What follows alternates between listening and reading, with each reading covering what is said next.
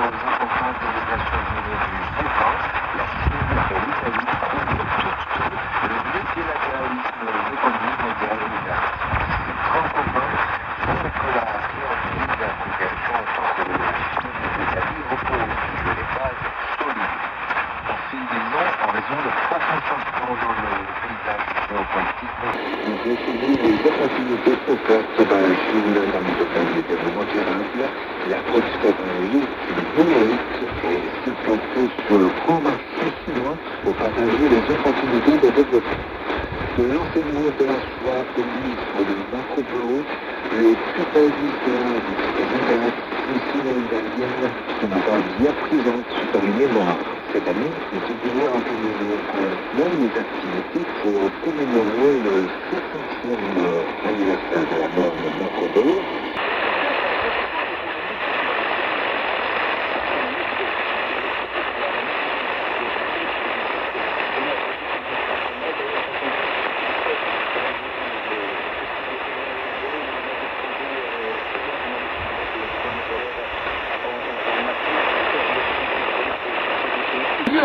le volume de la production d'un million de barils par jour entre avril et juin de cette année, la Russie a annoncé une prolongation de la réduction jusqu'à 471 000 barils par jour, qui comprend à la fois la production et les exportations.